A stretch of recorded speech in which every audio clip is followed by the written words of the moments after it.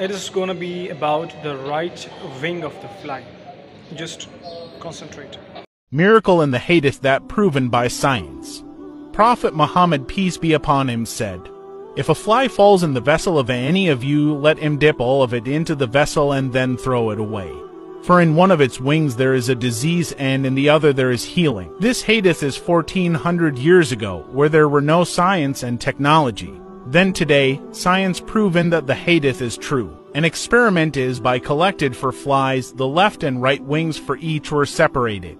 Each fly wing dipped in sterile nutrient media for investigation of microbial presence, bacteria, and fungi.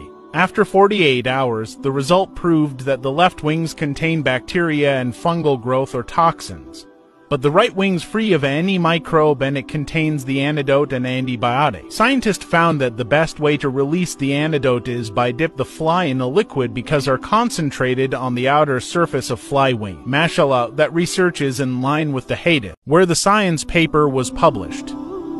You can check on this one. And this. You can download and read the paper clearly. The science and data don't lie.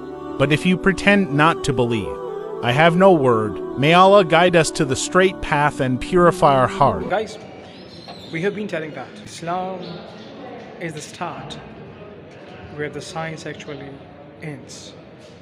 That's it.